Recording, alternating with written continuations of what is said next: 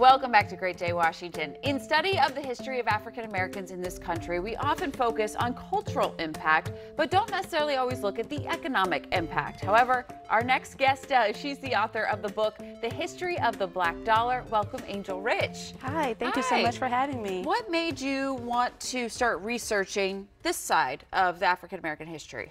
Yes, well, sort of long story short, as, as I was doing a bunch of rereading of Black history books, I came across some information that said that blacks were making 67 cents on the dollar during Harriet Tubman days, and she created a protest to refuse to receive wages in order to create equality mm-hmm. amongst equal pay. Um, right now in 2019, we're still making 67 cents on the dollar. Oh, wow. So it hasn't improved. Exactly. And I wanted to understand and share what history had happened in between. So when researching the book, um, what stood out to you the most? What was what's a little big surprising tidbit that you think nobody would know and that you didn't know? That the first Orchard House was started by a black person. Oh, That Okay. uh, because we were not allowed to eat cattle and things like that, they started diving into the water and they discovered oysters. Really not sure how they knew to do that. Maybe in Africa, I'm really not certain.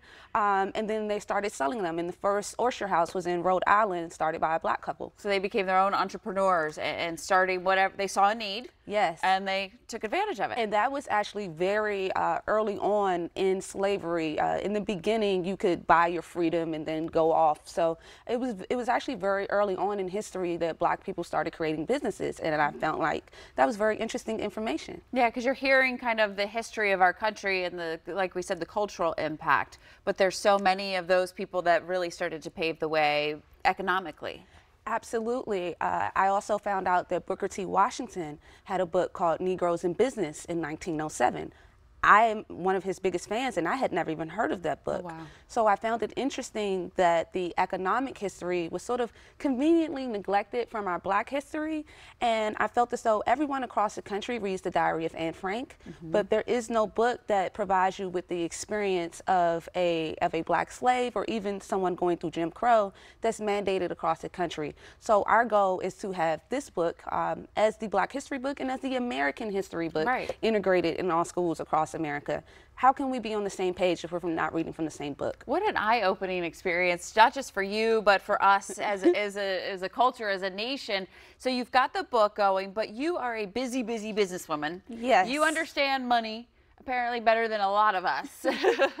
um, but you have found some really unique and creative ways to teach about money. What, how's the business going? What's, what's the latest? Yeah, so I actually originally wrote the book to fund my company. Smart woman right there. For real. Um, where we design financial literacy education technology games. Oh, Um, who doesn't love a good game? Of course. it's actually the number one education technology game in 14 countries, top five in 40 countries. And the game is called Credit Stacker.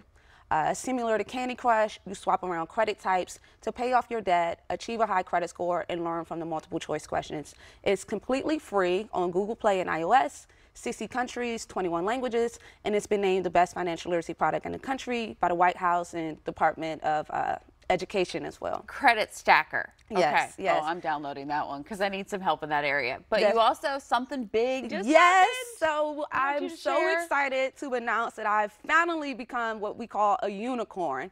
And that means that you are a black woman that has raised over a million dollars. Um, I'm now the 37th black woman in the world to do this in the past seven years in the tech industry, uh, coming from the startup space.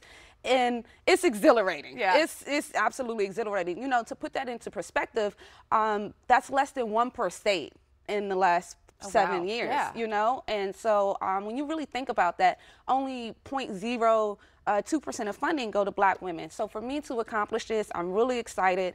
And, you know, it's, it's 9-11. I went to Fort Meade High School. We just became a U.S. military partner and we'll be going on the Fort Meade homepage.